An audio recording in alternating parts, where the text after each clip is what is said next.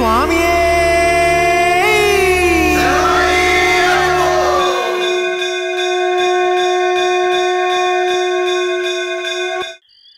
ഭരണാധിപൻ പ്രജകളുടെ ആവലാതികൾ കനകസിംഹാസനത്തിലിരുന്ന് കേൾക്കുന്നതിനേക്കാൾ കല്ലിന്റെ പരുപരുത്ത പ്രതലത്തിലിരുന്ന് കേൾക്കണം. എങ്കിലേ കലർപ്പില്ലാത്ത ആവലാതി കേൾക്കാൻ കഴിയും. കലർപ്പില്ലാത്ത നീതി നിർവഹണം നടത്താനും കഴിയും. വാവരെ അധർമ്മത്തിന്റെ പരമോന്നതയിൽ കഴിഞ്ഞിരുന്ന അങ്ങയുടെ നാവിൽ നിന്നാണോ? രാജധർമ്മത്തിന്റെ പുതിയ നീതിസാരം ഞാൻ കേൾക്കുന്നത്.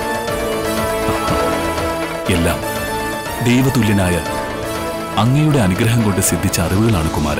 നന്നായി. വാവരുടെ ഉപദേശം എന്നെ വല്ലാതെ ആകർഷിച്ചിരിക്കുന്നു. ആ ഉപദേശം ഞാൻ ശിരസ വഹിക്കുന്നു. പ്രജകളുടെ പ്രശ്നം പഠിക്കാൻ വേഷപ്രച്ഛന്നനായി ഞാൻ ദേശമെങ്ങും സഞ്ചരിച്ചിരിക്കും.